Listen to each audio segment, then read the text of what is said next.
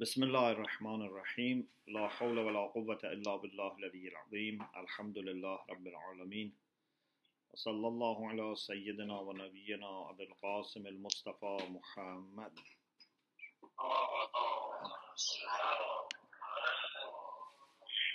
وآله الطيبين الطاهرين لا سيما بقية الله في الأراضين أجل الله تعالى فرجه الشريف. اللهم أخرجني من ظلمات الوهم وأكرمني بنور الفهم. اللهم افتح علينا أبواب رحمتك وانشر علينا خزائن علومك برحمتك يا أرحم الراحمين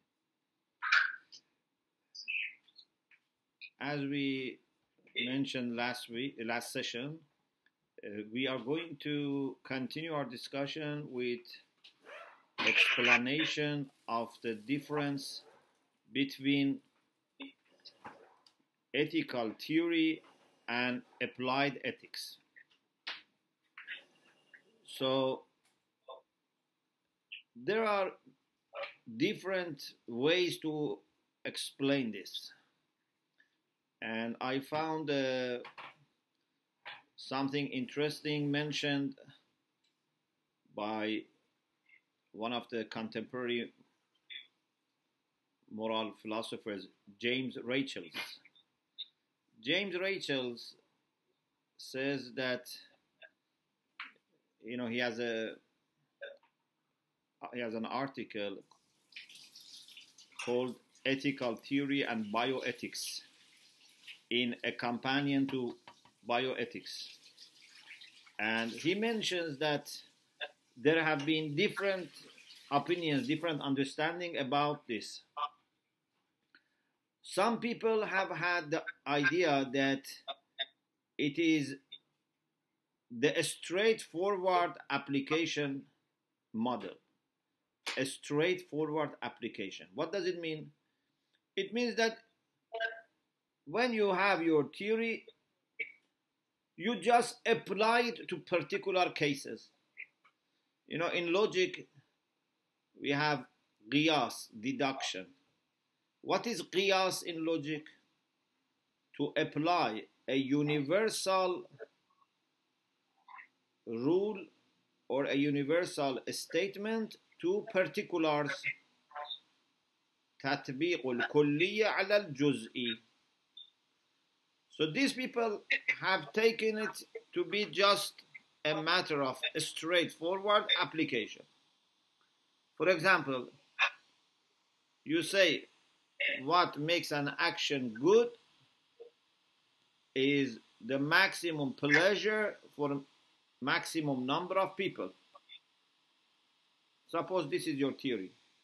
Maximum pleasure for maximum number of people. Or at least the least pain for the least number of people. Then, when you come to an issue about abortion, about cloning, about suicide, about environment, about genetic enhancement, what you do, according to them, you just apply this universal rule to those particular. So you have to see abortion is an instance for bringing maximum pleasure to maximum number of people or reducing pain at least if it's not bringing pleasure or not. Very simple. The reality is that this cannot do justice. And applied ethics is much more than that it's not enough to know the theory and just apply it to the particular cases. It's much more than that. The second model is the model that he calls the physics slash car mechanic model. The physics slash car mechanic model. imagine you are in need of repairing your car. Your car needs to be fixed. You take it to a garage. The mechanic is going to fix your car. For example, the engine of the car needs to be fixed.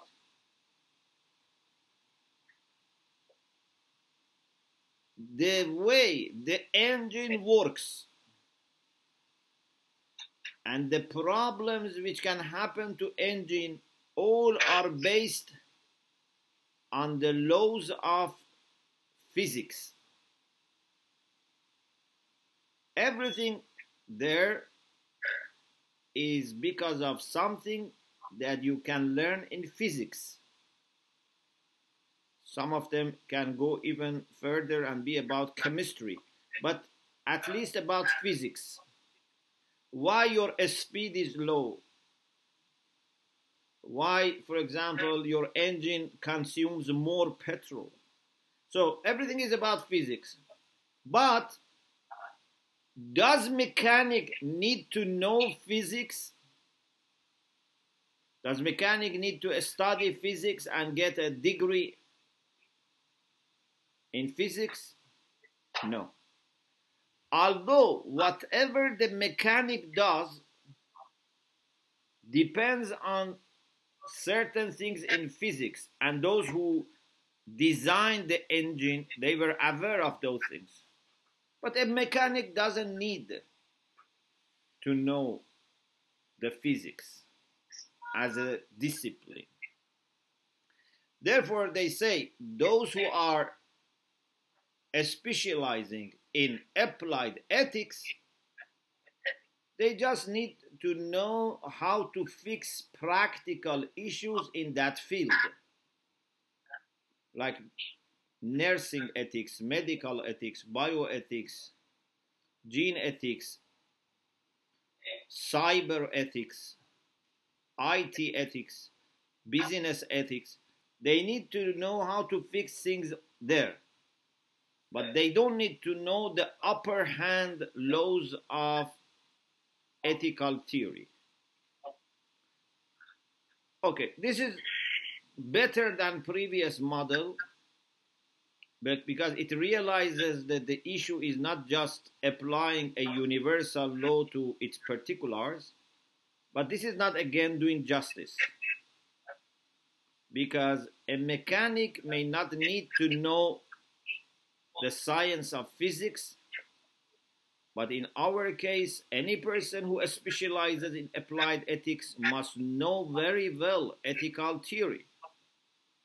You have to decide which type of ethical theory.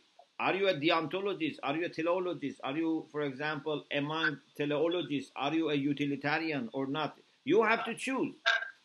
And based on that, you can make decision so there is a third model which is better according to Rachels. This is the model which is acceptable and that is the biology slash medicine model. The biology slash medicine model. When someone is ill, doctor has some knowledge of biology and he also knows about health and illness and issues related to that. You cannot find a proper doctor who doesn't know anything about biology of our body. Any person to become a doctor has to go for training, and one of the things that doctors learn is biology. Uh, even those who want to go to university to study medicine, in higher school they have to study definitely biology.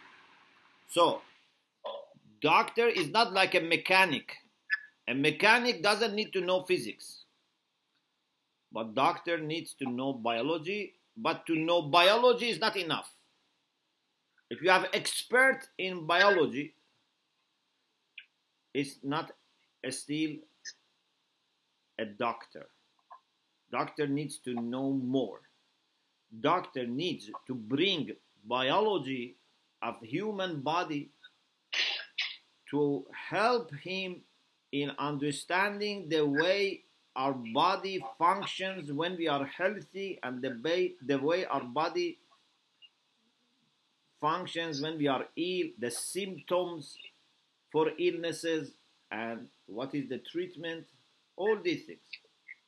So, this is the third model. I was thinking that perhaps for us, we have another model which can explain better and more clearly for us. And we can say that is the relation between fiqh and jurisprudential maxims. You know, we have knowledge of fiqh. And any person who studies fiqh and becomes, for example, a jurist, a mujtahid, if you ask him any question, he can investigate, he can examine, and maybe come up with a fatwa, with an opinion. But if you want to have a more reliable fatwa, you need to know all the uh, jurisprudential rules or maxims al-qawaid al-fiqhiyya that are related to that field all the major hadiths related to that field, all the fundamental fatwas related to that field. You know, imagine someone who is mujtahid but has not worked especially in the field of qadha, kitabul qadha, about judgment, has not worked. But he knows all the fiqh uh, in general but so far has not exercised ijtihad in Kitabul Qadha.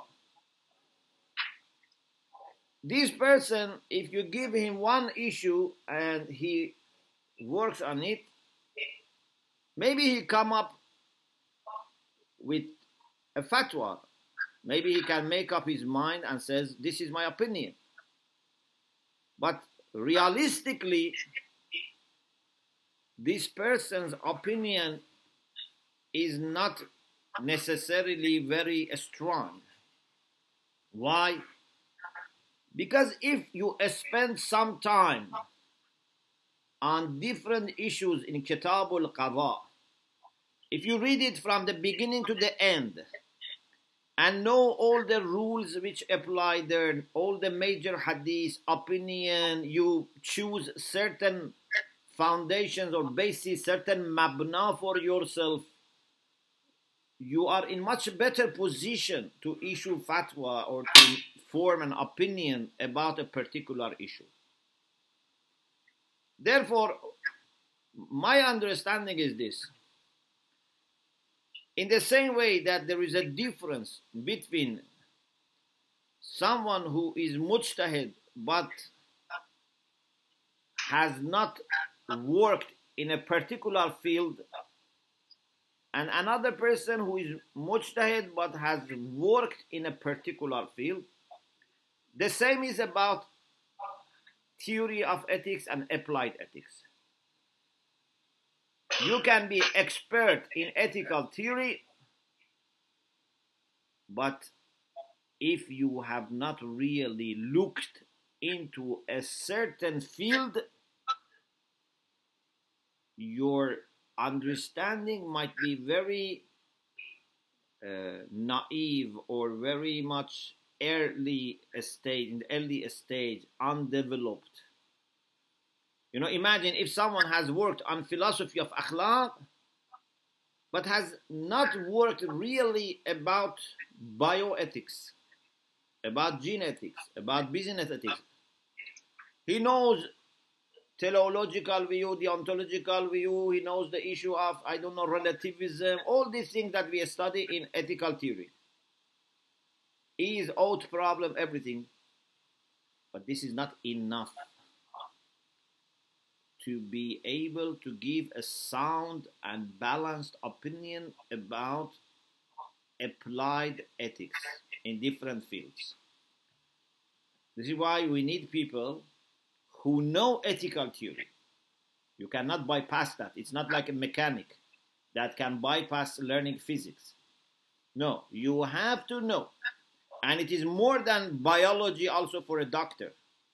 You really need to know your ethical theory. But you need to also know all the particularities of that field Therefore, maybe you are an expert in one area or two areas. Maybe you are an expert in bioethics or medical ethics. But when it comes to media ethics, it's new for you.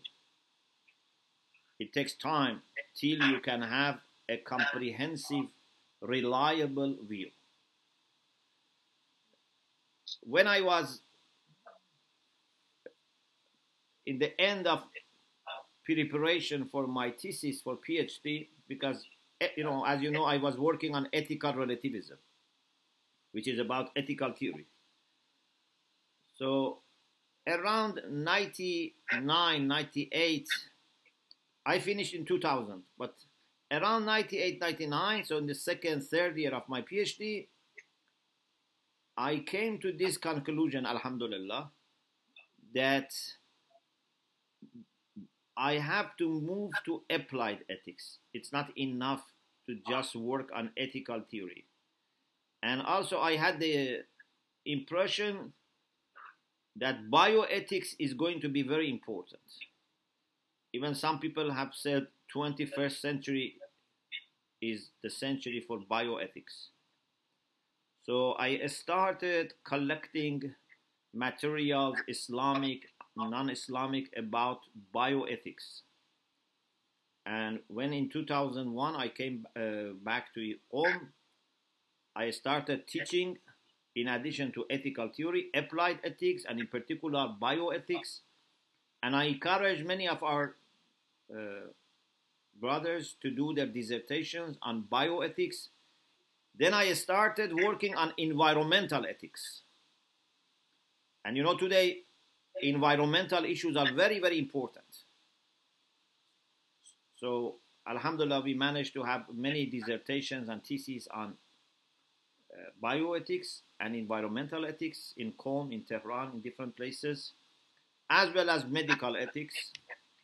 And I think this has to continue. We need to work on different areas of applied ethics and you cannot just have very general idea and you know present islamic view. You have to really go into these fields see what are alternative views what are their arguments and reflect on them and then go back to islamic sources and try to come up with islamic understanding. You cannot just be satisfied with the knowledge that you have of fiqh or even philosophy of akhlaq. No.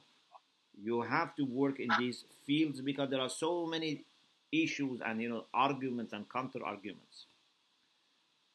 So, in my understanding, the model which is helpful for understanding the relation between ethical theory and applied ethics is the model that we have in our fiqh, in our jurisprudence, between general fiqh and abwab fiqh, different sections of fiqh in which certain qawaid fiqh, jurisprudential maxims apply, certain uh, hadiths are important, certain uh, ideas you have to form as your basis, as your mabna, so that you can understand. I have a here a quotation I would like to share with you. There is a good book in Farsi اخلاق کاربردی uh, it's written by some writers جمعی از نویسندگان by some writers published by پژوهشگاه دفتر تبلیغات uh, on page 47 it says میان اخلاق کاربردی و اخلاق هنجاری رابطه در خور تعملی برقرار است there is a relation which needs reflection between applied ethics and normative ethics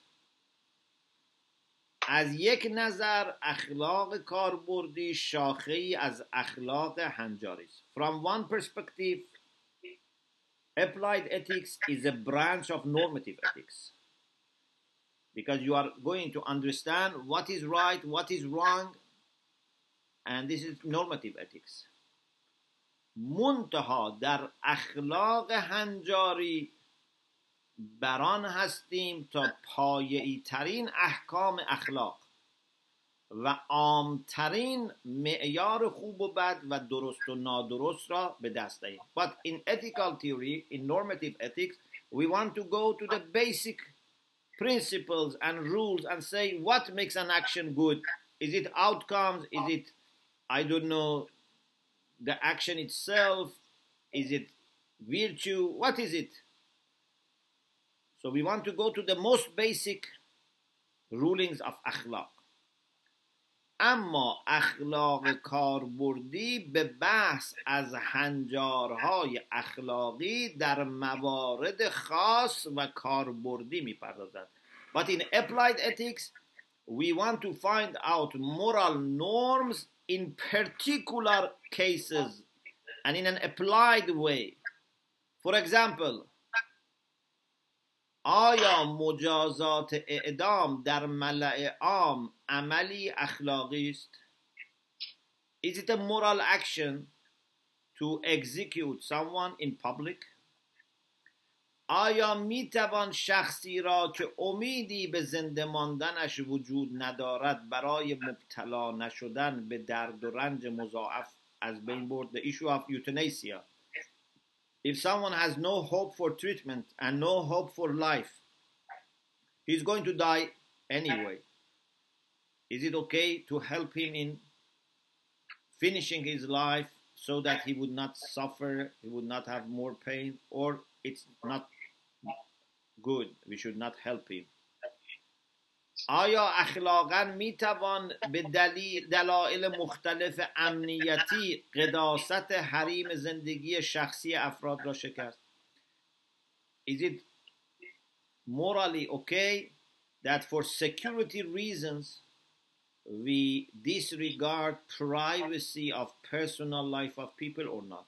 So these are issues that based on our normative ethics, based on our theory, we have to decide in a practical way. So this is in a, uh, the book Akhlaq Karbordi, page 47. I think it's a good way to explain, but the way we discussed, of course, maybe it's more detailed. After this, the next thing that we want to discuss and make you more familiar with some of the theories about foundations of ethics is to refer to some most popular ideas about foundations of ethics. I have selected few of them. One of them is a very famous theory which is known as natural law. Natural law. Uh,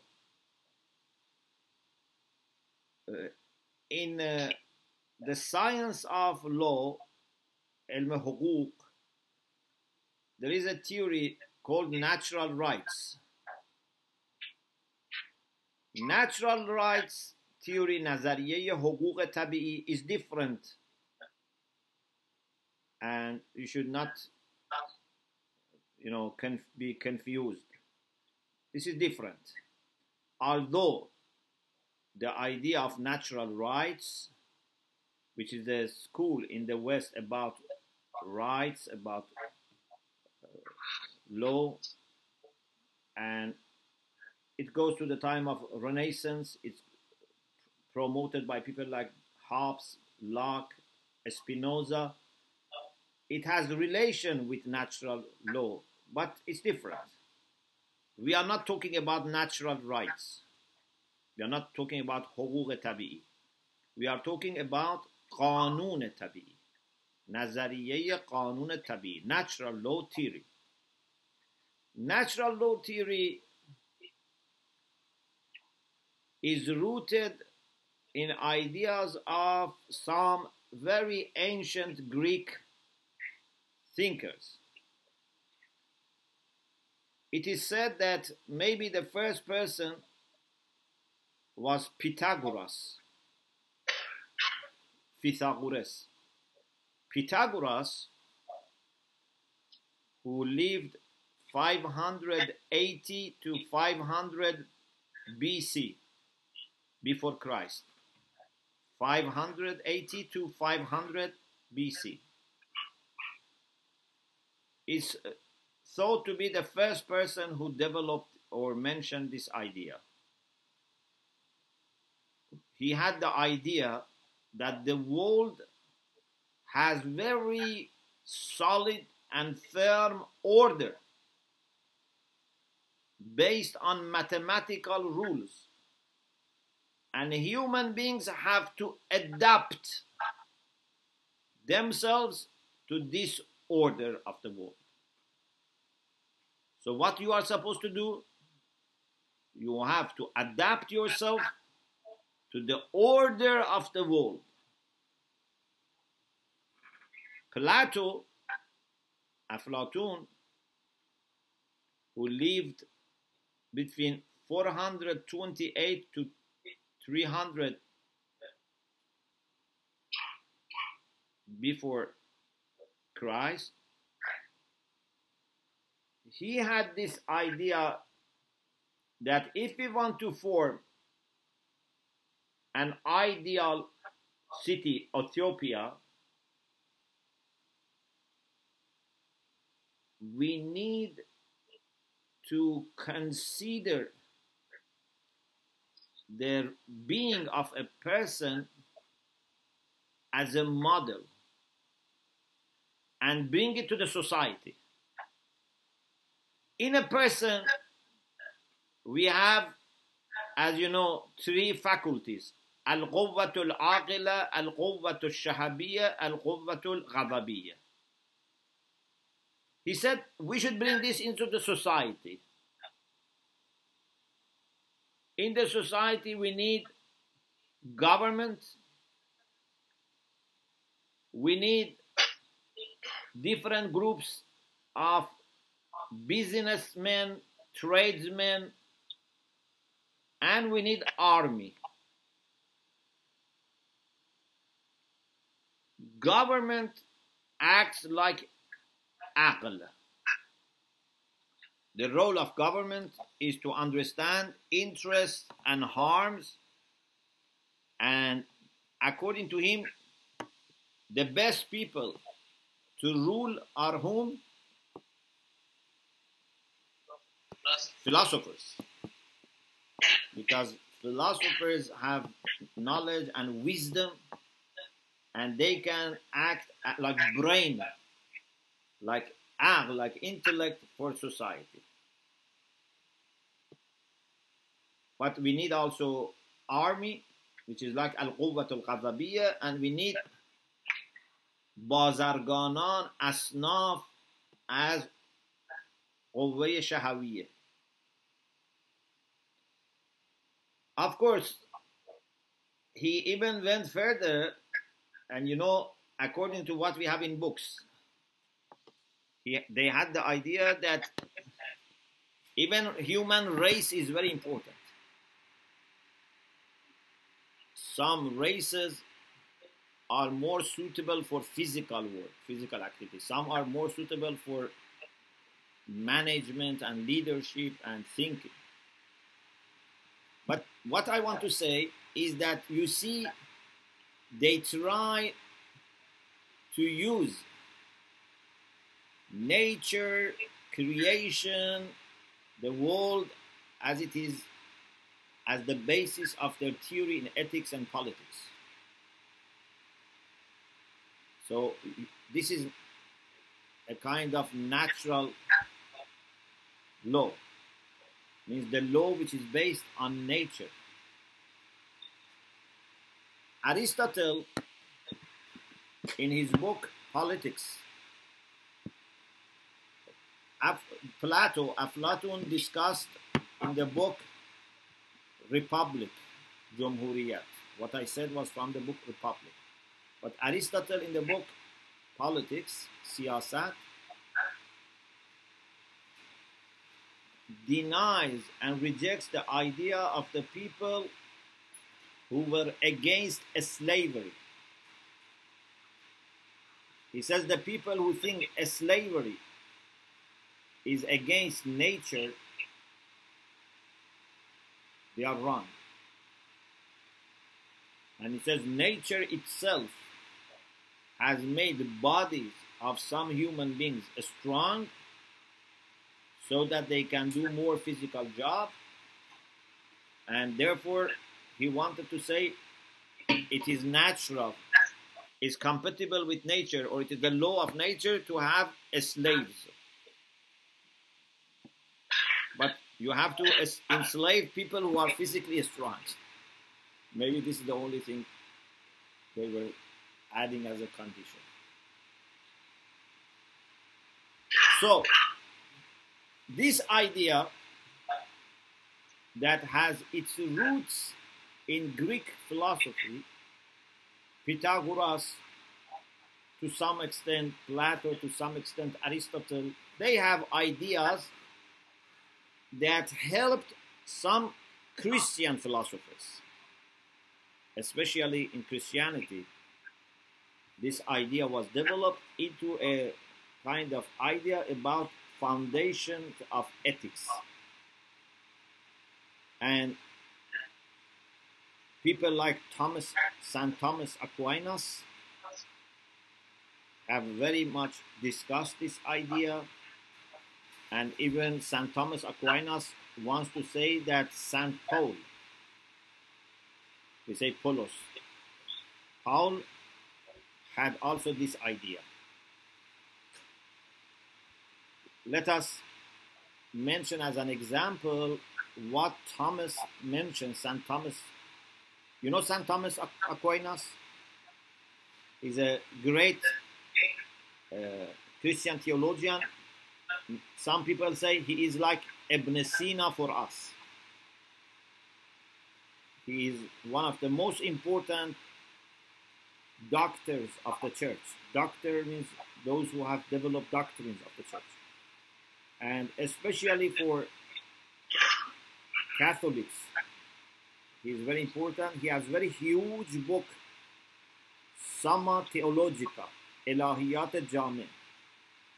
And the style is very scholastic and very similar to Muslim thinkers. He had access to translations of Ibn Sina's work, Avicenna's work, and he is very close to Avicenna and he has been impressed and influenced by many ideas of Avicenna. He's a very good person to act as a bridge between Islamic philosophy and theology and Christian philosophy and theology. So Thomas, St. Thomas, when he talks about suicide, خودکشی, he mentions three arguments why suicide is wrong. The first argument is this. I have uh, translated into Farsi, of course, uh, what he said, and now I have to, I don't have the English text now with me, I am trying to translate back to English. Of course, he writes in Latin. He says, everything naturally loves itself. So it's a law of nature that everything by nature loves itself. Everything by nature tries to preserve itself and resists as much as possible against corruption, against destruction. Suicide, Thomas Aquinas argues, he says suicide is in conflict with natural desire of every living being to survive. if you look at animals, if you look at birds, plants, they all want to survive. They try to protect themselves. They try to eat. They try to do everything necessary to preserve their life. Someone who is committing suicide is acting against the natural desire of every living being.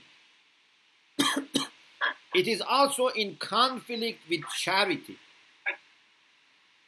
because every human being should be charitable, should be kind. And if you have to be kind and charitable with respect to others, then what about yourself?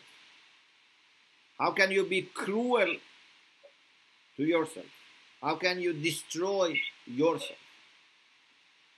So, Thomas says suicide is always a moral sin because it conflicts with the law of nature, it also conflicts with charity. So, as you see, someone is using nature as the foundation for moral norms.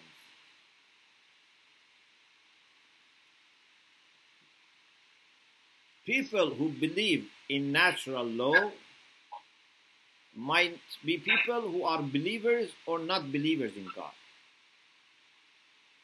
There are people who believe in nature and they may not believe in God, or at least they may not believe in Abrahamic God.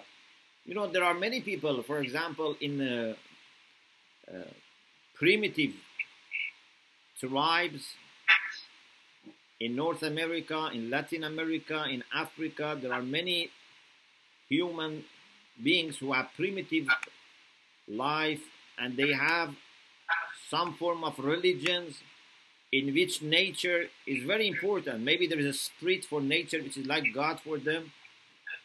And for them, it's very important that everything should be according to nature. But those who believe in God, they are in a better position to take nature as a basis because they say God has book of creation and book of revelation and book of creation because it is designed by God, manifests God's knowledge and wisdom. So we need to reflect on it and act upon it. There is a harmony between creation and legislation. So therefore, many Christian thinkers who are very deeply devoted to God, they believe in natural law theory.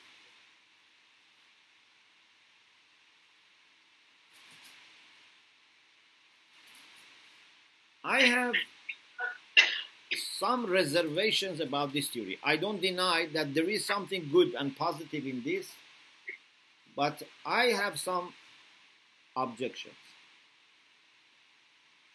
One problem with this theory is to define what is natural, what is compatible with nature, because according to them, what is natural is good, is right. You should do everything which is natural. It's not easy always to understand what is natural. For example, is it natural for human beings to put on dress or it's not natural? What do you mean by natural? N- nature. Maybe someone says in nature our body is exposed. So to put on dress and to cover ourselves is not natural. If you mean nature, if you mean human nature, then that's another issue. Inshallah, we will talk about it in the second view. Second view is human nature. But if you mean nature, means tabiat. Okay, maybe someone says in tabiat all animals are naked. They are exposed. So we should also be naked. I'm not saying this is right, but I'm saying if you say nature and everything which is natural is good, how are you going to explain what is natural here? Or, for example, in nature, human beings are not supposed to fly. Birds fly. Some animals fly, some animals swim, some animals crawl. Human beings walk, or maximum is that they run. So to make planes and fly, is it natural or it's not natural? Everything has a na- natural taste. If you add some sweetener to make something sweet, is it natural or is it not natural?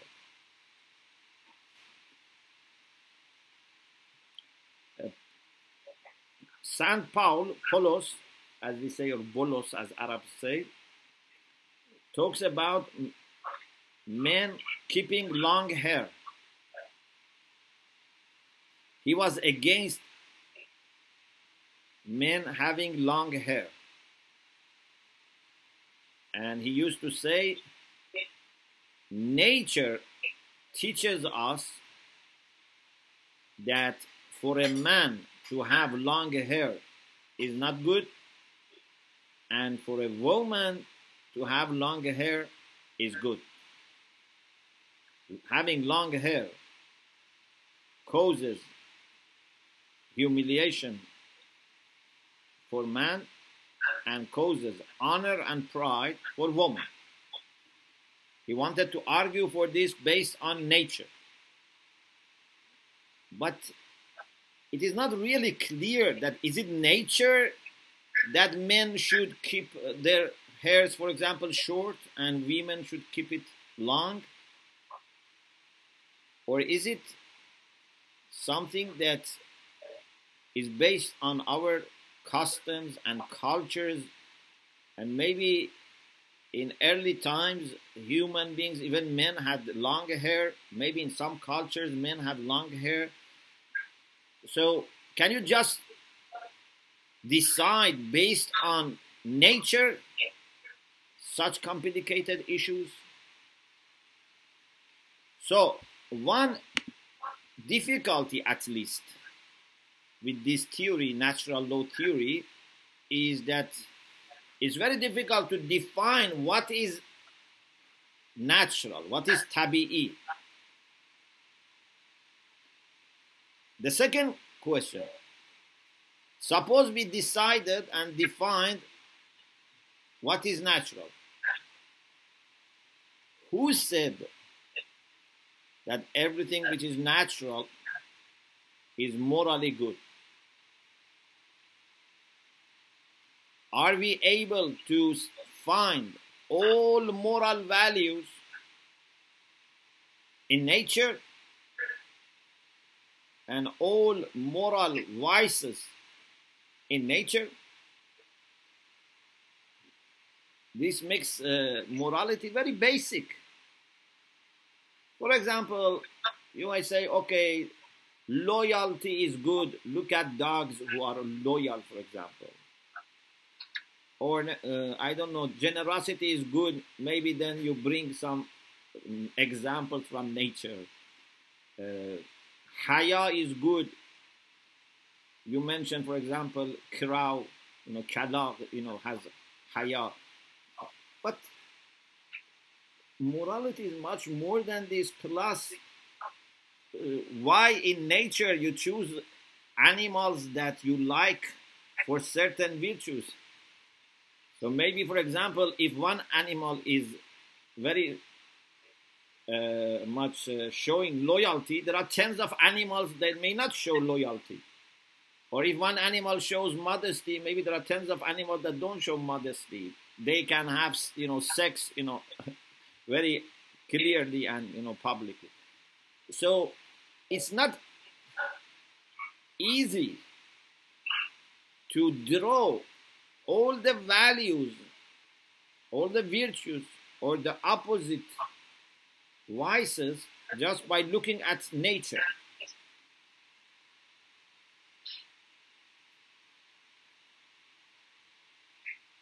They say Aql can draw moral rules from nature. But this is not again clear how Aql can draw moral laws from nature. For example, birth control. Is birth control good or not?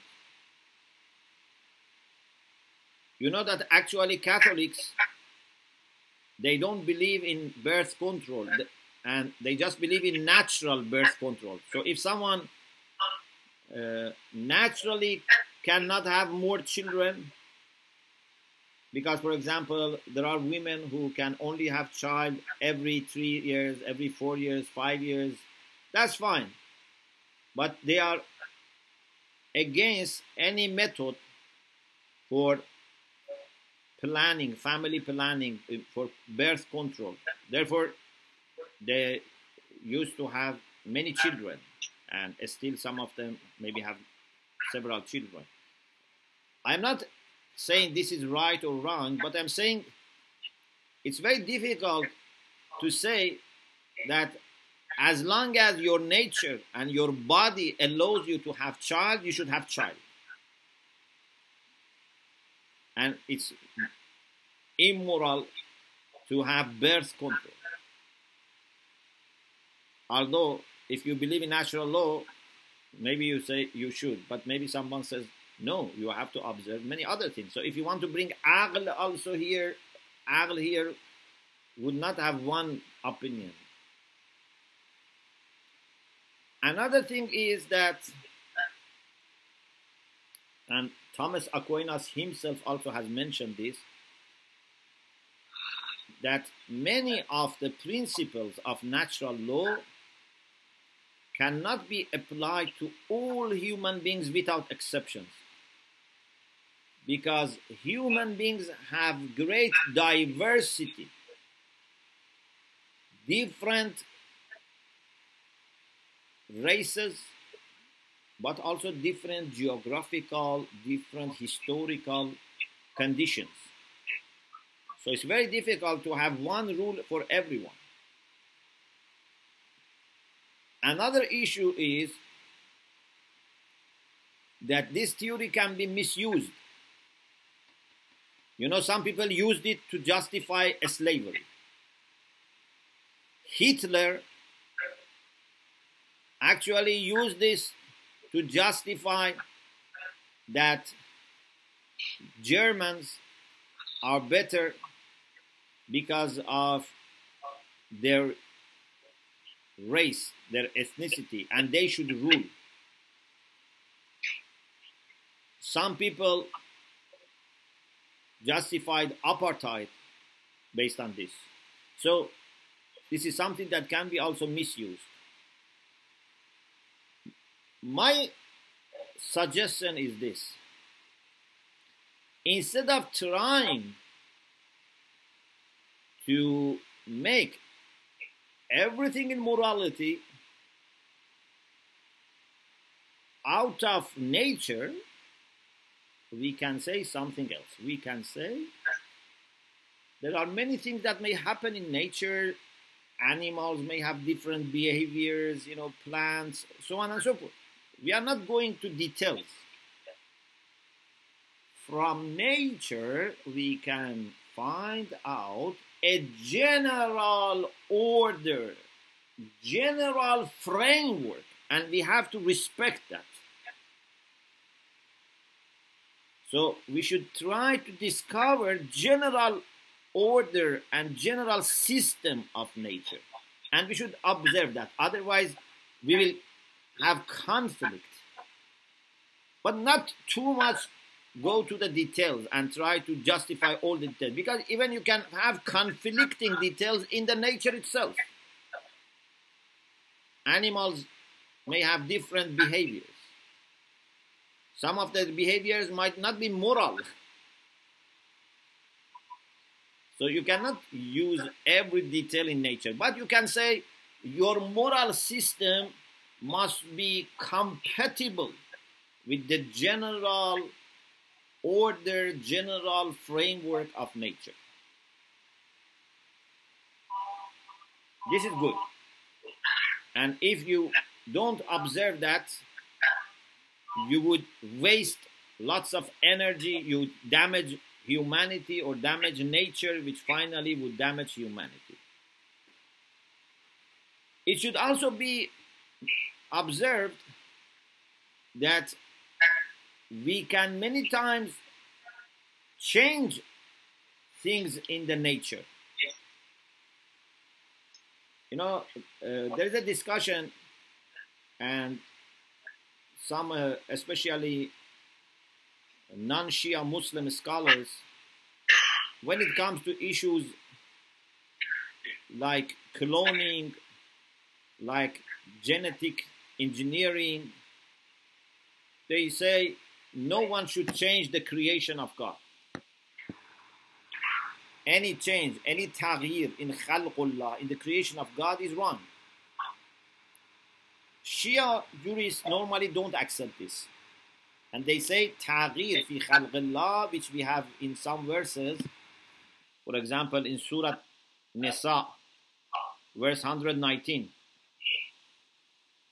when Shaitan says, وَلَأُذِلَّنَّهُمْ وَلَأُمَنِّيَنَّهُمْ وَلَآمُرَنَّهُمْ and it continues says فَلَيُغَيِّرُنَّ خَلْقَ اللَّهِ or we have لا تبديل لخلق الله uh, some non-Shia or many non-Shia jurists they have taken this literally any change in khalqullah is wrong but Shia jurists say no this doesn't mean any change because if any change is prohibited, then farming is تغییر fi khalqillah. There is a land, you cultivate it and you grow. You make it a garden. This is tagir in khalqullah. If you want to take it literally, there is no enough water, you dig a well and then you reach water. This is tagir fi khalqullah. You make car, you make rail station, you make plane, everything is tagir fi khalqullah. You make roads, it's tagir fi khalqullah.